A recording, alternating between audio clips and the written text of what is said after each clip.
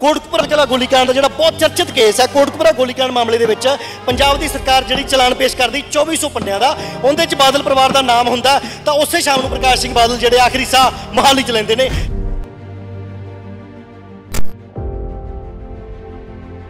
ਜਿੱਦਾਂ ਸਿੱਖ ਪੰਥ ਤੋਂ ਜਾਂ ਪੰਥਕ ਮਸਲਿਆਂ ਤੋਂ ਲੈ ਕੇ ਪ੍ਰਕਾਸ਼ ਸਿੰਘ ਬਾਦਲ ਉੱਤੇ ਕਈ ਤਰ੍ਹਾਂ ਦੇ ਇਲਜ਼ਾਮ ਜਾਂ ਜਿਹੜੇ ਦੋਸ਼ ਹੈ, ਉਹ ਵੀ ਲੱਗਦੇ ਰਹੇ ਇੱਥੇ ਗੱਲ ਇਹ ਕਹਿਣੀ ਲਾਜ਼ਮੀ ਬਣ ਜਾਂਦੀ ਹੈ। ਬਹੁਤ ਸਾਰੀਆਂ ਚੀਜ਼ਾਂ ਨੇ ਜਿਹੜੀਆਂ ਲੋਕ ਡਿਵੈਲਪਮੈਂਟ ਦੀਆਂ ਦੇਖਦੇ ਆ ਕਿ ਬਾਦਲ ਸਰਕਾਰ ਦੇ ਵੇਲੇ ਹੋਈਆਂ। ਪਰ ਉਹੀ 2015 ਦੇ ਵਿੱਚ ਇੱਕ ਅਜਿਹੀ ਘਟਨਾਕ੍ਰਮ ਵਾਪਰ ਜਾਂਦਾ ਹੈ। ਬਰਗਾੜੀ ਦਾ ਕਾਂਡ, ਇਨਸਾਫ ਮੰਗਦੇ ਲੋਕਾਂ ਦੇ ਉੱਤੇ ਗੋਲੀਆਂ ਚਲਾ ਦੇਣੀਆਂ ਜਿੱਥੋਂ ਪੰਥਕ ਕੋਟ ਇਸ ਕਦਰ ਟੁੱਟ ਜਾਂਦੀ ਹੈ ਕਿ ਇੱਕ ਬੰਦਾ ਜਿਹੜਾ ਕਿਸੇ ਵੇਲੇ ਪੰਥ ਦਾ ਇੱਕ ਬਹੁਤ ਵੱਡਾ ਚਿਹਰਾ ਸੀ, ਦੂਸਰੇ ਪਾਲੋਂ ਬੰਦਾ ਪੰਥ ਦੇ ਵਿੱਚ ਇੱਕ ਵਿਰੋਧਤਾ ਦਾ ਸ਼ਿਕਾਰ ਹੋ ਜਾਂਦਾ। ਬੈਬਲ ਕਲਾਂ ਜਿਹੜੀ ਤੁਸੀਂ ਗੱਲ ਕਰ ਰਹੇ ਸੀ ਕੋਟਪੁਰਾ ਗੋਲੀकांड ਦੇ ਮਾਮਲੇ ਦੀ 2400 ਪੰਨਿਆਂ ਦੀ ਜਿਹੜੀ ਚਾਰਜ ਸ਼ੀਟ ਹੈਗੀ ਹੈ, ਉਹ ਸ਼ਾਮਲ ਕੀਤੀ ਜਾਂਦੀ ਹੈ, ਜਿੰਦੇ ਵਿੱਚ ਸੁਖਵੀਰ ਸਿੰਘ ਬਾਦਲ, ਸੁਮੇਧ ਸੈਣੀ, ਪ੍ਰਕਾਸ਼ ਸਿੰਘ ਬਾਦਲ ਹੋਣਾ ਦਾ ਨਾਮ ਬਤੌਰ ਦੋਸ਼ੀ ਵਜੋਂ ਸ਼ਾਮਲ ਹੈਗਾ। ਤਾਂ ਰਾਜ ਦੇ ਵਿੱਚ ਜਿਹੜਾ ਹੈਗਾ, ਇਹ ਇੱਕ ਵੱਡੀ ਜਿਹੜੀ ਹੈਗੀ ਕੁਤਾਹੀ, ਇੱਕ ਵੱਡੀ ਜਿਹੜੀ ਗਲਤੀ ਹੈ ਜਿਸ ਗਲਤੀ ਨੂੰ ਵਾਰ-ਵਾਰ ਸ਼੍ਰੋਮਣੀ ਅਕਾਲੀ ਦਲ ਬਾਦਲ ਦੇ ਲੀਡਰਾਂ ਨੇ ਆਪਣੇ ਮੂੰਹੋਂ ਕਈ ਵਾਰੀ ਸਵਕਾਰਿਆ ਔਰ ਇਹ ਵੀ ਤੱਕ ਵੀ ਦਰਬਾਰ ਸਾਹਿਬ ਜਾ ਕੇ ਜਦੋਂ ਜੋੜਿਆਂ ਦੀ ਸੇਵਾ ਬਾਦਲ ਪਰਿਵਾਰ ਨੇ, ਅਹ, ਕੁਝ ਸਮਾਂ ਪਹਿਲਾਂ ਕੀਤੀ ਸੀ, ਤਾਂ ਉਹ ਜਿਹੜਾ ਪਛਤਾਤਾਪ ਸਮਾਗਮ ਸੀਗਾ, ਪਛਤਾਤਾਪ ਦੇ ਜਿਹੜੇ ਪ੍ਰੋਗਰਾਮ ਸੀ, ਉਹ ਇਸੇ ਕਰਕੇ ਹੀ ਸਾਡੇ ਰਾਜ 'ਚ ਗਲਤੀ ਹੋ ਗਈ ਆ।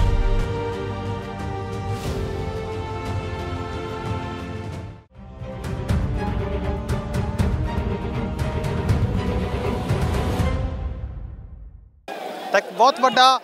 ਸਿਆਸੀ ਲੀਡਰ ਅੱਜ ਪੰਜਾਬ ਦੇ ਵਿੱਚੋਂ ਚਲਿਆ ਗਿਆ। ਅਕਾਲੀ ਦਲ ਨੂੰ ਯਕੀਨਨ ਇੱਕ ਬਹੁਤ ਵੱਡਾ ਘਾਟਾ ਪਿਆ ਹੋਊਗਾ। ਤਾਂ ਸਾਡੇ ਨਾਲ ਸਾਡੇ ਸੀਨੀਅਰ ਪੱਤਰਕਾਰ ਜਸਵੀਰ ਸਿੰਘ ਮੁਕਸਰ ਵੀ ਮੌਜੂਦ ਨੇ। ਉਹਨਾਂ ਤੋਂ ਜਾਣਾਂਗੇ ਉਹਨਾਂ ਤੋਂ ਜਾਣਾਂਗੇ ਕਿਵੇਂ ਦੇਖਦੇ ਹੋ? ਤੁਸੀਂ ਕਿਵੇਂ ਦੇਖਦੇ ਹੋ ਕਿ ਇੱਕ ਸਿਆਸਤਦਾਨ ਦੇ ਤੌਰ ਦੇ ਉੱਤੇ ਪ੍ਰਕਾਸ਼ ਸਿੰਘ ਬਾਦਲ ਦੀ ਮੌਤ ਨੂੰ ਕਿਵੇਂ ਦੇਖੋ, ਸਿਆਸਤ ਤੌਰ ਤੇ ਜੇ ਆਪਾਂ ਸ਼ਖਸੀਅਤ ਨੂੰ ਕਿਸੇ ਨੂੰ ਦੇਖਦੇ ਹੈਗੇ ਹਾਂ, ਤਾਂ ਪ੍ਰਕਾਸ਼ ਸਿੰਘ ਬਾਦਲ ਦਾ ਬਤੌਰ ਇੱਕ ਸਿਆਸੀ ਲੀਡਰ ਜਿਹੜਾ, ਉਹ ਕਰਦੇ ਦੇ ਵਿੱਚ ਕੋਈ ਦੋ ਰਾਈ ਨਹੀਂ ਹੈਗੀ, ਬਹੁਤ ਵੱਡਾ। ਉਹ ਉਦੋਂ ਇਸ ਗੱਲ ਦਾ ਜਿਹੜਾ ਸਪਸ਼ਟ ਤੌਰ ਤੇ ਫਿਰ ਜਿਹੜਾ ਸਾਨੂੰ ਜਿਹੜਾ ਉਹ ਰੂਪ ਦਿਸਦਾ ਕਿ ਭਾਰਤ ਦੇ ਪ੍ਰਧਾਨ ਮੰਤਰੀ ਨਰਿੰਦਰ ਮੋਦੀ ਜਿਹੜੇ ਆ, ਰਾਜ ਕਰਨ ਤੋਂ ਬਾਅਦ ਜਿਹੜਾ 2014 ਦੀ ਉਹਨਾਂ ਨੇ ਜਿਹੜੀ ਪੰਜਾਬ ਭਾਰਤ ਦੀ ਜਿਹੜੀ ਕੁਰਸੀ ਸੰਭੀ ਹੋਈ ਆ, ਉਹ ਤੋਂ ਬਾਅਦ ਲਗਾਤਾਰ ਰਾਜ ਕਰਨ ਤੋਂ ਬਾਅਦ ਉਹ ਗਿਣਤੀ ਦੇ ਚਾਰ ਕੁ ਗੇੜੇ ਪੰਜਾਬ 'ਚ ਮਾਰਦੇ ਨੇ। ਔਰ ਕੱਲ ਜਿਹੜਾ ਇੱਕ ਜਿਹੜਾ ਹੈਗਾ ਜਿੱਦਾਂ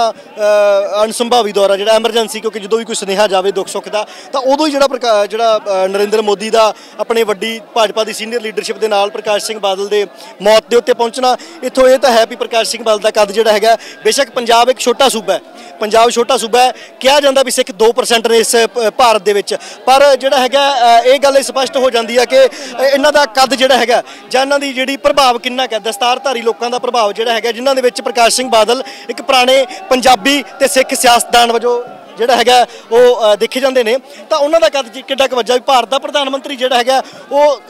ਬੜੀ ਜਲਦੀ ਦੇ ਵਿੱਚ ਜਿਹੜਾ ਹੈਗਾ ਉਸ ਜਗ੍ਹਾ ਦੇ ਉੱਤੇ ਉਹ ਜਿਹੜਾ ਹੈਗਾ ਅਫਸੋਸ ਕਰਨ ਪਹੁੰਚਦਾ ਹੈਗਾ। ਜੀ। ਜਿਵੇਂ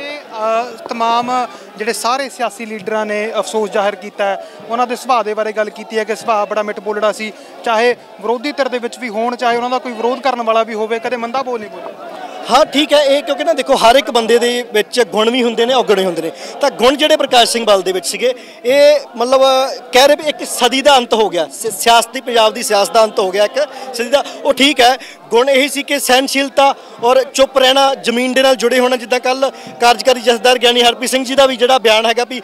ਭਾਰਤ ਦੇ ਵਿੱਚ ਅਜਿਹੇ ਧਰਤੀ ਨਾਲ ਜੁੜੇ ਹੋਏ ਰਾਜਨੀਤਿਕ ਲੋਕਾਂ ਦੀ ਕਮੀ ਹੈ। ਕਿਉਂਕਿ ਬਹੁਤ ਸਾਰੇ ਲੋਕ ਜਿਹੜੇ ਨੇ ਕੁਝ ਸਮੇਂ ਦੇ ਵਿੱਚ ਮਸ਼ਹੂਰ ਹੋ ਜਾਂਦੇ ਆ, ਉਹ ਸੋਸ਼ਲ ਮੀਡੀਆ ਦਾ ਸਹਾਰਾ ਲੈ ਕੇ ਹੋਵੇ ਜਾਂ ਕਿਸੇ ਜਿਸ ਤਰ੍ਹਾਂ ਹੋਣ ਵਾਲੀ ਜਿਹੜੀ ਪਾਰਟੀ ਵੀ ਪੰਜਾਬ 'ਚ ਰਾਜ ਕਰ ਰਹੀ ਹੈ, ਉਹਦਾ ਵੀ ਰਾਜ ਕਰਨ ਦਾ ਜਿਹੜਾ ਰਾਹ ਹੈਗਾ, ਉਹ ਸੋਸ਼ਲ ਮੀਡੀਆ ਦੀਆਂ ਪੌੜੀਆਂ ਤੋਂ ਨਿਕਲਿਆ ਹੋਇਆ। ਠੀਕ ਹੈ, ਕਰਮਾਂ ਨੂੰ ਆ ਪੰਜਾਬ ਦੇ ਲੋਕਾਂ ਨੇ 92 ਸੀਟਾਂ ਆਮ ਆਦਮੀ ਪਾਰਟੀ ਨੂੰ ਦਿੱਤੀਆਂ ਨੇ, ਪਰ ਅੱਜ ਇਹ ਵੀ ਗੱਲ ਇੱਥੇ ਕਰਨੀ ਜਾਇਜ਼ ਬਣ ਜਾਂਦੀ ਹੈ ਵੀ ਪ੍ਰਕਾਸ਼ ਸਿੰਘ ਸਿੰਘ ਬਾਦਲ ਨੇ ਗੱਡਿਆਂ ਤੇ, ਸਾਈਕਲਾਂ ਤੇ ਰਕਸ਼ਾਂ ਤੇ ਤੁਰ ਕੇ ਕਿਸੇ ਸਮੇਂ ਪੰਜਾਬ ਦੇ ਵਿੱਚ ਪ੍ਰਚਾਰ ਕੀਤਾ ਸੀਗਾ। ਤਾਂ ਉਦੋਂ ਹੀ ਜਿਹੜਾ ਪ੍ਰਕਾਸ਼ ਸਿੰਘ ਬਾਦਲ ਲੋਕਾਂ ਦੇ ਹਰਮਨ ਪਿਆਰੇ ਲੀਡਰ ਬਣੇ। ਹਾਂ ਰਾਜ ਕਰਨ ਦੇ ਵਿੱਚ ਰਾਜ ਸੱਤਾ ਭੋਗਦੇ ਹੋਏ ਬਹੁਤ ਸਾਰੀਆਂ ਪੰਜਾਬ ਦੇ ਵਿੱਚ ਅਜਿਹੀਆਂ 20 ਘਟਨਾਵਾਂ ਵਾਪਰੀਆਂ, ਜਿੱਥੇ ਪ੍ਰਕਾਸ਼ ਸਿੰਘ ਬਾਦਲ, ਹਰਮਨ ਪਿਆਰੇ ਵੀ ਲੋਕਾਂ ਦੇ ਨੇਤਾ ਰਹੇ ਪ੍ਰਕਾਸ਼ ਸਿੰਘ ਬਾਦਲ ਨਾਮੀ ਤੇ ਬਹੁਤ ਮਸ਼ਹੂਰ ਨੇਤਾ ਵੀ ਰਹੇ, ਪਰ ਜਿੱਦਾਂ ਸਿੱਖ ਪੰਥ ਤੋਂ ਜਾਂ ਪੰਥਕ ਮਸਲਿਆਂ ਤੋਂ ਲੈ ਕੇ ਪ੍ਰਕਾਸ਼ ਸਿੰਘ ਬਾਦਲ ਉੱਤੇ ਕਈ ਤਰ੍ਹਾਂ ਦੇ ਇਲਜ਼ਾਮ ਜਾਂ ਜਿਹੜੇ ਦੋਸ਼ ਹੈ, ਉਹ ਵੀ ਲੱਗਦੇ ਰਹੇ ਇੱਥੇ ਗੱਲ ਇਹ ਕਹਿਣੀ ਲਾਜ਼ਮੀ ਬਣ ਜਾਂਦੀ ਹੈ ਕੱਲ ਹੀ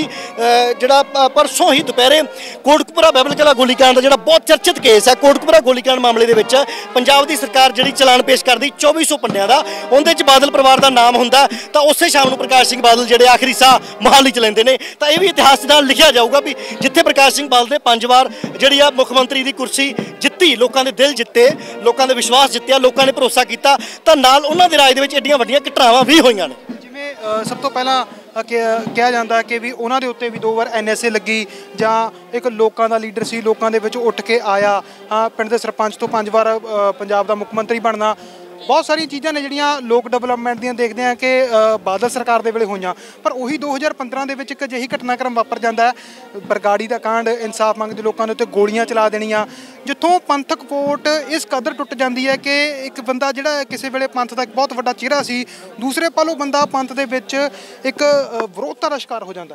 ਜੀ, ਬਿਲਕੁਲ। ਦੇਖੋ ਬੇਸ਼ੱਕ ਕੋਈ ਸਮਾਂ ਸੀ ਜਦੋਂ ਜਿਹੜਾ ਹੈਗਾ, ਕਿਉਂਕਿ ਪ੍ਰਕਾਸ਼ ਸਿੰਘ ਬਾਦਲ ਨੇ ਖੁਦ ਨੇ ਵੀ ਜਿਹੜਾ ਹੈਗਾ, ਉਹ ਲੰਬਾ ਸਮਾਂ ਜੇਲ੍ਹ ਕੱਟੀ ਹੈ ਔਰ ਉਹ ਜੇਲ੍ਹ ਜਿਹੜੀ ਆ, ਉਹ ਪੰਜਾਬ ਦੇ ਹੱਕਾਂ ਖਾਤਰ ਹੀ ਕੱਟੀ ਹੈ ਪੰਜਾਬ ਦੇ ਅਧਿਕਾਰਾਂ ਖਾਤਰ ਹੀ ਕੱਟੀ ਆ। ਹਾਂ, ਪਰ ਕਈ ਵਾਰ ਜਿੱਦਾਂ ਜਦੋਂ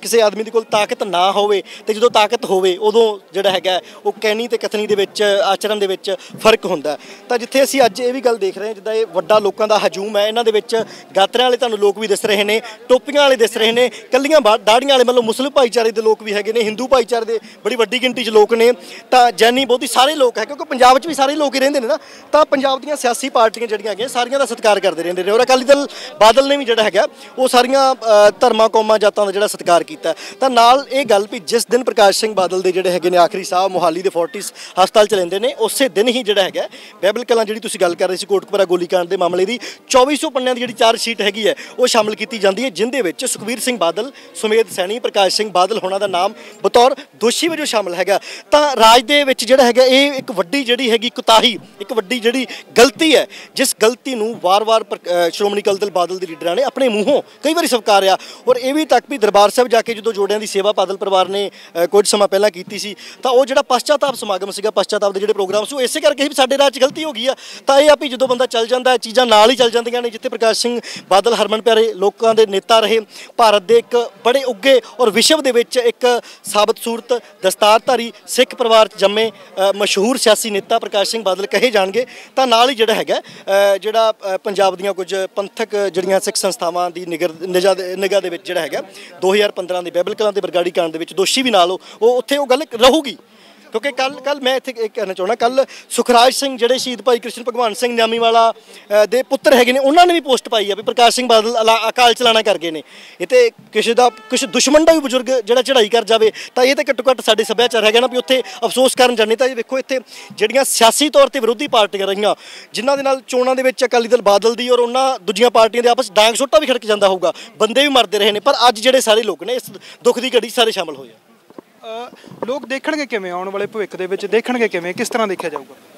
ਦੇਖੋ ਜੇ, ਲੋਕ ਇਸ ਤਰ੍ਹਾਂ ਹੀ ਦੇਖਣਗੇ ਜਿਹੜੀ ਆ ਚੀਜ਼ ਹੈ, ਪਿੱਛੇ ਇੱਕ ਬਜ਼ੁਰਗ ਮਾਤਾ ਸੀ, ਉਹ ਰੋ ਰਹੀ ਸੀ, ਉਸ ਵੀਕਲ ਦੇ ਕੋਲੇ ਖਲੋਤੀ ਹੈ ਨਾ ਕੋਈ ਲੋਕਾਂ ਦਾ ਵਿਸ਼ਵਾਸ ਹੁੰਦਾ, ਲੋਕਾਂ ਦਾ ਭਰੋਸਾ ਹੁੰਦਾ। ਉਸ ਸ਼ਖਸੀਅਤ ਦੇ ਉੱਤੇ ਉਹਨਾਂ ਦਾ ਲੋਕਾਂ ਦਾ ਸੀਗਾ, ਤਾਂ ਹੀ ਤਾਂ ਪੰਜ ਵਾਰ ਉਹਨਾਂ ਨੇ ਉਹਨਾਂ ਨੂੰ ਕੁਰਸੀ ਦਿੱਤੀ। ਤਾਂ ਇਸ ਵਾਰ ਦੀਆਂ ਜਿਹੜੀਆਂ 2022 ਦੀਆਂ ਚੋਣਾਂ ਨੇ, ਉਸ ਵਾਰ ਪ੍ਰਕਾਸ਼ ਸਿੰਘ ਬਾਦਲ ਖੁਦ ਹਾਰੇ, ਸੁਖਬੀਰ ਸਿੰਘ ਬਾਦਲ ਹਾਰੇ। ਕੱਲ ਅਸੀਂ ਤਾਂ ਉਸ ਦਰਵਾਜ਼ੇ ਦੇ ਬਾਹਰ ਖਲੋਤੇ ਸੀਗੇ, ਜਿਹੜਾ ਰਹਿਸ਼ ਦਾ ਮੁੱਖ ਦਰਵਾਜ਼ਾ, ਉਹ ਉਹ ਦਰਵਾਜ਼ਾ ਜਿੱਥੋਂ ਪ੍ਰਕਾਸ਼ ਸਿੰਘ ਬਾਦਲ ਕਈ ਵਾਰ ਜਿੱਤ ਕੇ ਢੋਲਾਂ ਦੇ ਨਾਲ ਗਲਾਂ 'ਚ ਹਾਰ ਪੈ ਕੇ ਉਸ ਦਰਵਾਜ਼ੇ ਤਾਂ ਹੀ ਅੰਦਰ ਅੰਦਰ ਵੜੇ ਹੋਣਗੇ। ਲੱਖਾਂ ਦੇ ਗਿਣਤੀ 'ਚ ਲੋਕ ਜਿਹੜੇ ਰੋਜ਼ਾਨਾ ਉਹਨਾਂ ਨੂੰ ਆਉਂਦੇ ਰਹੇ ਹੋਣਗੇ, ਆਪਣੇ ਦੁੱਖ ਸੁੱਖ ਦੱਸਦੇ ਹੋਣਗੇ ਕੋ ਲੋਕਾਂ ਦੇ ਕੰਮ ਬੜੇ ਕੀਤੇ ਸੀਗੇ। ਇਹ ਇਲਾਕੇ ਦੇ ਲੋਕ ਦੱਸਦੇ ਨੇ, ਬੀਬੀਆਂ, ਬਜ਼ੁਰਗ, ਬੱਚੇ, ਹਾਂ, ਬਿਲ, ਬਿਲਕੁਲ ਬਿਲਕੁਲ ਨਾ ਤਾਂ ਉਹ, ਪਰ ਕੱਲ ਅੰਤਮ ਤੌਰ ਤੇ ਜਿਹੜਾ ਆਖਰੀ ਤੌਰ ਤੇ ਪ੍ਰਕਾਸ਼ ਸਿੰਘ ਬਾਦਲ ਦੀ ਜਿਹੜੀ ਉਹ ਮ੍ਰਿਤਕ ਦੇਹ ਹੈ, ਉਸ ਰਹਿائش ਦੇ ਵਿੱਚ ਗਈ। ਤਾਂ ਇਲਾਕੇ ਦੇ ਲੋਕਾਂ ਵਾਸਤੇ ਇੱਕ ਬੜਾ ਵੱਡਾ ਘਾਟਾ ਹੈਗਾ, ਕਿਉਂਕਿ ਇੱਕ ਛੋਟਾ ਜਿਹਾ ਪਿੰਡ ਪਛੜਿਆ ਇਲਾਕਾ ਮੁਕਸਰ ਨੂੰ ਆਮ ਤੌਰ ਤੇ ਕਿਹਾ ਜਾਂਦਾ ਸੀਗਾ। ਪਛੜਿਆ ਇਲਾਕੇ ਦਾ ਇੱਕ ਛੋਟਾ ਜਿਹਾ ਪਿੰਡ, ਜਿੱਥੇ ਸ਼ਹਿਰ ਤੋਂ ਵੱਡੀਆਂ ਸਹੂਲਤਾਂ ਨੇ, ਜਿਸ ਰੋਡ ਤੇ ਅਸੀਂ ਜਾ ਰਹੇ ਹਾਂ, ਇਹ ਹਸਪਤਾਲ ਵੇਖੋ, ਇਹ ਸਟੇਡੀਅਮ ਵੇਖੋ, ਮਤਲਬ ਇਹ ਪ੍ਰਕਾਸ਼ ਸਿੰਘ ਬਾਦਲ ਦੀ ਆਪਣੇ ਇਲਾਕੇ ਨੂੰ ਦੇਣ ਸੀਗੀ, ਬਿਲਕੁਲ। ਜਿਹੜੀ ਅੰਤਿਮ ਯਾਤਰਾ ਹੈ, ਉਹ ਚੱਲ ਰਹੀ ਹੈ ਪ੍ਰਕਾਸ਼ ਸਿੰਘ ਬਾਦਲ ਦੀ। ਵੱਡੇ ਸਿਆਸੀ ਚਿਹਰੇ ਨੇ ਜਿਹੜੇ ਉਹ ਅੰਤਿਮ ਯਾਤਰਾ ਦੇ ਵਿੱਚ ਸ਼ਾਮਲ ਹੋਏ ਹੋਏ ਨੇ। ਤਾਂ ਪ੍ਰਕਾਸ਼ ਸਿੰਘ ਬਾਦਲ ਦੇ ਬਾਦਲ ਪਿੰਡ ਵਾਲੀ ਜਿਹੜੀ ਕੋਠੀ ਤੋਂ ਨਾਲ ਜਿਹੜਾ ਬਾਗ ਨੇ, ਉੱਥੇ ਅੰਤਿਮ ਸੰਸਕਾਰ ਹੈ ਜਿਹੜਾ ਉਹ ਕੀਤਾ ਜਾਣਾ। ਤਸਵੀਰਾਂ ਨੇ ਜਿਹੜੀਆਂ ਉਹ ਲਗਾਤਾਰ ਤੁਹਾਨੂੰ ਦਿਖਾਉਂਦੇ ਰਹਾਂਗੇ।